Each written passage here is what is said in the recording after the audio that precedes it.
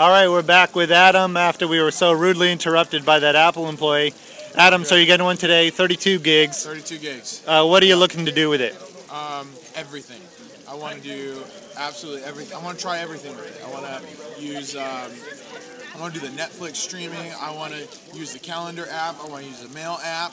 I mean, all of these things that are useful on the on the iPhone will be. Books, you said? I said books. Oh, definitely. That's another thing. Books. I don't know how I forgot to mention that. I mean, it's gonna kill the Kindle.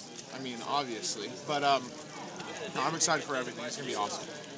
Great, great. Do you have a Do you have an iPhone right now? I do. I do have an iPhone with the broken screen. Oh. at the beginning of the year. Oh, Adam needs a new iPhone. People, hook yeah. him up. Yeah, if you have a, a screen, let me know. How'd you break your iPhone? Uh, I was trying to put it in my pocket, slipped out of my hand, just fell on some tile, and just hit right at the right angle to break it. That's okay. You're getting an iPad now, yeah, buddy. Yeah. Can't drop the iPad though. All right. Thanks, Adam. Thank you. All right.